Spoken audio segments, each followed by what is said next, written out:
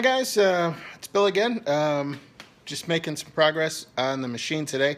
Thought I'd update you, know, tell you where we're at so far. Today's project um, was to do some tramming on the um, uh, mill columns to get that all squared away. Got that done. Turned out I only needed to add one uh, shim to the um, to the uh, bottom of one of the mounting lugs. You can see down here where the feet are.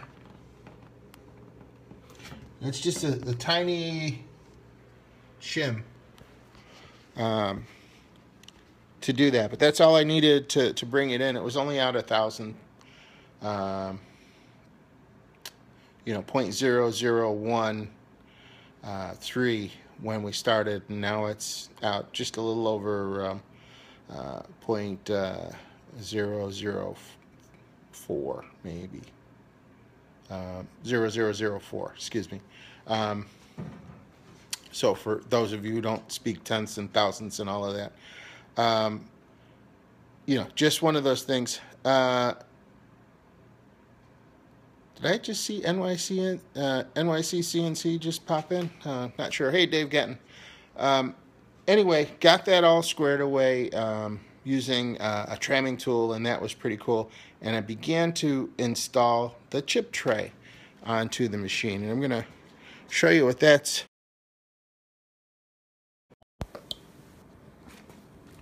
So this is the chip tray, and it adds quite a bit of uh, real estate uh, to this machine.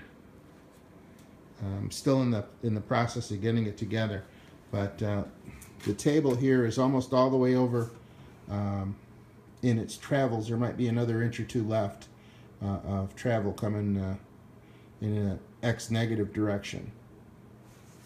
Okay, um, and you put these on one half at a time.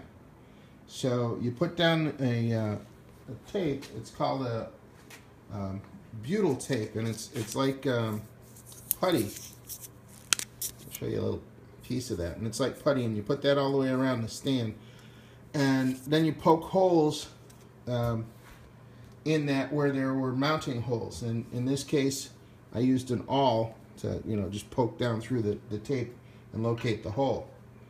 So um, once you do that, you were putting uh, a little 10 millimeter bolts in, which was already, you know, tapped in into the base.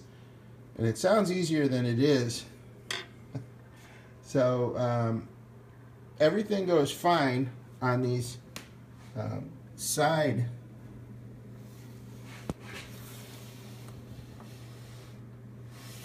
uh, bolts, the ones that hold the tray onto the side. But when you start getting down into where this goes underneath the uh, bed of the mill. Those are really hard to get to. These ones in the front aren't so bad compared to these ones in the back. Okay, on this side of the machine, no big deal. You get in there with a, a long socket and, and everything's cool. But when you get over to this side of the machine, Things may get a little darker over here, folks, so uh, see if I can get some extra light in there. Okay, so down in here, you've got the end of this control panel to deal with. And this space here is just wide enough to fit your hand down in there. And so you've got two bolts there. And then further down you've got one. And you've got to try and get in there and get it all lined up. And the problem is when you're in this location where you have to um, tighten them down, you can't see them.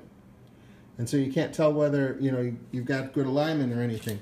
So it's a real pain. I spent about two hours just trying to get that square.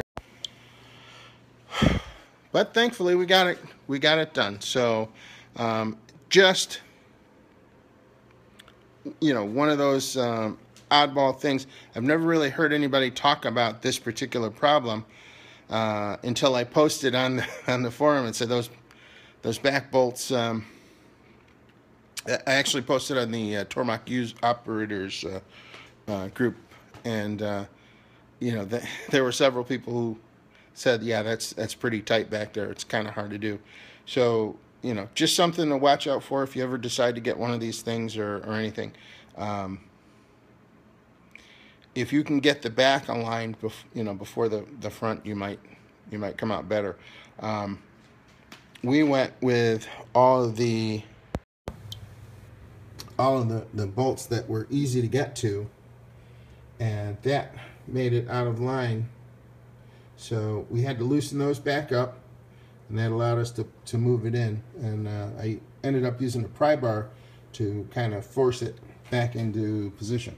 So anyway, uh, we're we're making progress, and um, I hope uh, that we'll be able to go forward with this and put the rest of the enclosure on, and um, maybe that'll take uh, you know a day or so or two days at at the most. I hope because um, I'd like to get cutting, and um, I'm sure some of you that are waiting for triple edge finders would like me to get cutting too. But but there we go all of the things with the automatic tool changer are squared away. It's working great. Um, all of the things with the power drawbar, perfect. Um, highly recommended. Um, just some coolant things to do and uh, the full enclosure, and we should be ready to go. So that's where I'm at with this project. Um, for those um, switching topics now for a second. For those of you who um, ordered software, I got um, uh, word back that they're uh, in transit from DHL. It should be here tomorrow, and we'll be able to ship those out to you from there. Um, I'm going to email you each uh, regarding a, a, time to get together to go over the software and get you squared away. So, um, you know, looking forward to that. Uh, the T-shirts are being printed, and hopefully they'll be mailed out soon. I'm not really sure how Teespring works that, but if you ordered a T-shirt, you um, you'll get it as soon as as, as, they're done and um, you know shipped out. So very cool stuff um, so far, and I, I just wanted to um, let you guys know what I'm up to and and everything. Hey, Dave, uh, Dave Harshberger, good to uh, good to see you there. Um, Patrick, uh, you too from uh, from the Joe's group. Uh, good to see you. Keep it up, uh, Patrick. You're inspiring me with your weight loss. I'm gonna have to um, follow you down that road, man. really great job. Um, so anyway, that's um, that's what we're up to tonight. If you um, have a comment for me, please, um, you know, feel free to, to leave it below in, in this thread. Um, I'm going to post this up in a few minutes so anybody who missed it live can see it later. But, you know, we're making progress. It's, it's, it's going pretty, uh, pretty good. So I'm, I'm happy with that so far. Uh, the other thing that, um, the other thing that I, I wanted to say was um, just uh, thank you for everybody being patient with me. I know this isn't CNC router related, but it, it's kind of like a cousin to, to CNC routers. And, you know, I hope you're not bored with this. I am working on some other stuff, and as soon as I can uh, get my space back now that I've used up with all of this, um, I'll be able to get on those other projects. So um, tomorrow I have to open pallet. This is the pallet that includes the uh, enclosure. So um, I'm looking forward to, to that and, and seeing what's inside of there and getting rid of the rest of these pallets uh, so that I can get this space back. So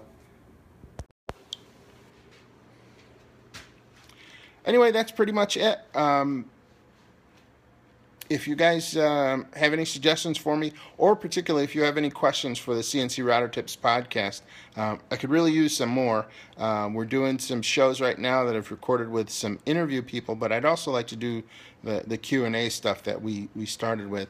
So if you've got a question, just go to cncroutertips.com slash ask me, and um, you can leave a voice message uh, with your question, and hopefully, um, you know, get an answer for that. So I, uh, you know, I hope that uh, that you'll take a chance and, and give us a question because we can all learn something when, um, you know, when we answer the questions and, and look into things. So take it easy, guys. Have a great night, and thank you uh, for you know all the likes and uh, you know the thumbs up and all of that good stuff. I really appreciate it. Um, thanks. I'm Bill Griggs. Have a great day.